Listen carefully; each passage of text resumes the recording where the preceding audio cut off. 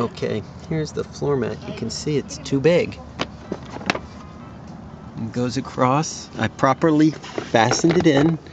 It's too big. It doesn't fit right. And I did hook it in.